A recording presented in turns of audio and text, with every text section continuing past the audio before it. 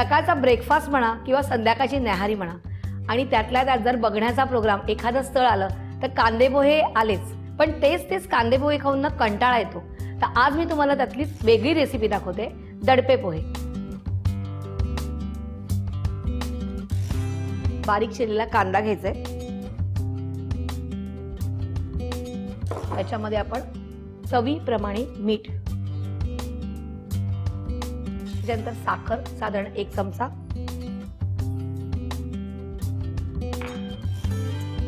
लिंबाचा रस. आणि आपण हे थोडस चुरून घ्यायचं म्हणजे काय तरी? पाणी सुटणार आहे कांद्याला.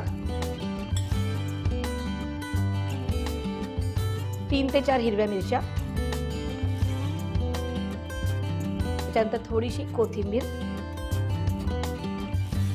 आणि पुन्हा हे सगळं मिक्स करायचंय. आणि एक पाच मिनटं असंच ठेवायचंय तोपर्यंत आपण फोडणी करून घेऊया. गॅस चालू करूया. एक चमचा तेल. तेल जरासं गरम झालं की आपण राई घालणार आहोत. तेल तापलेलं आहे.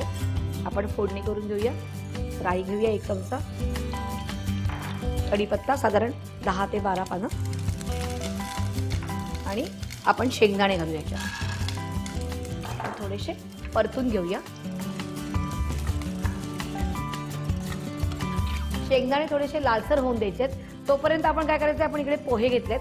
तर पोहे तुम्ही इकडे जाडे घ्या किंवा पातळ घेतले तरी चालेल. जाडे घेतले तर काय होतं? तेवढा गिचका होत नाही. आणि पातळ घेतली तर लगेच याचा थोडासा लवकर गिचका होतो. तर आपण इथे जाडे पोहे घेतलेले आहेत. ह्याच्यामध्ये आपण थोडासा पाण्याचा हपका मारून घेऊया त्याच्यावरती. थोडंसं पाणी घ्यायचं अगदी. आणि असं पाणी मारून थोडंसं ते मिक्स करून ठेवायचे. किंवा आपण जेव्हा नारळ घेतो किसून तेव्हा नारळ फोडल्यावर ते नारळाचं पाणी राहिलं आणि ते जरी शिंपडलं तरीही चालणार आहे. मिक्स केलं आपण. हे लालसर झालेले आहेत. आता आपण काय करूया? हे जे शेंगदाणे आहेत ते आपण या मिश्रणामध्ये घालूया.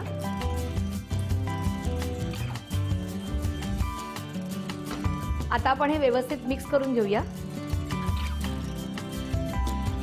आता आपण जे पोहे घेतलेले आहेत थोडेसे भिजवलेले आहेत ते आपण त्यात घालूया.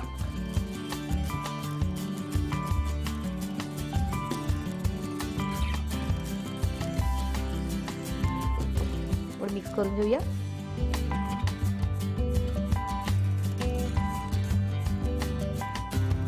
आपण जे पोहे घातलेत ते मस्तपैकी मिक्स करून झालेले आहेत. आता मस्तपैकी एक डिश घेऊया आणि त्याच्यामध्ये मस्त आपण ते सर्व करूया.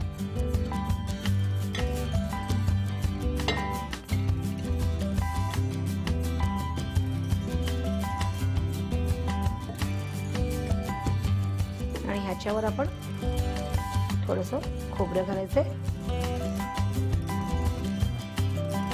आणि कोथिंबीर.